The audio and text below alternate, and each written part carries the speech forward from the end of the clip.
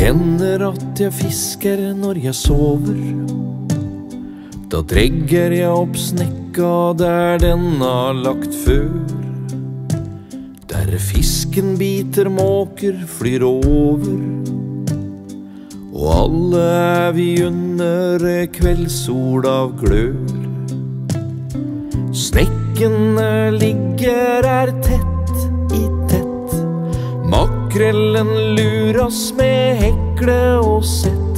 Har du fått noe, roper en mens han ler. Jeg skal svare, men så er det jeg ser. Det er min egen far som venter et ærlig svar. Jeg ser han er glad, som han var da han var her en gang. Det er min egen far. Jeg ser at han haler og drar. Tida er nå, himmelen er blå, som i en sang. Det hender at jeg fisker når jeg sover. Ligger ut på muren blant båter og folk. Og snekkene de skinner som jåler. Men midt iblant dem alle en kjære beisa holk. Sjøl kallen på tofta er brun som en nøtt. Han smiler for fisken, den biter visst dødt. Har du fått noe, roper han mens han ler. Jeg skal svare, men så er jeg ser. Det er han beste far. Far til min egen far. Jeg ser han er glad, som han var da han var her en gang.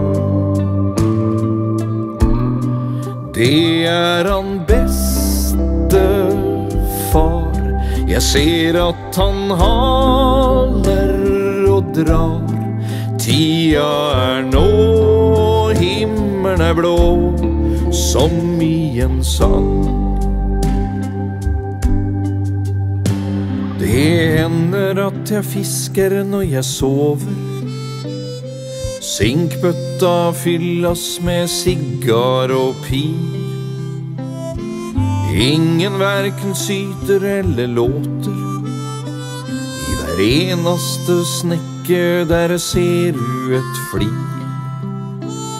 Er sjekte dørjer for hvite seil. Fiske mens du seiler kan aldri bli feil.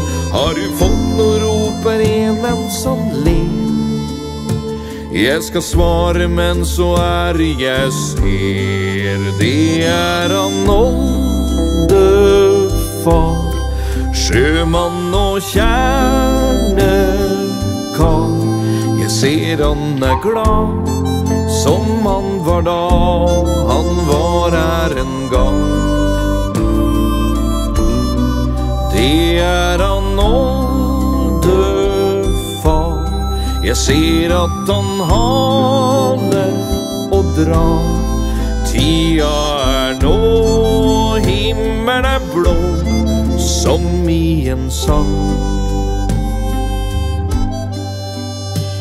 Det hender at jeg våkner når jeg fisker. Og drømmen er den samme hver eneste gang.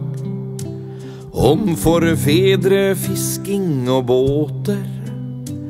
I en sang om en drøm og en drøm om en sang.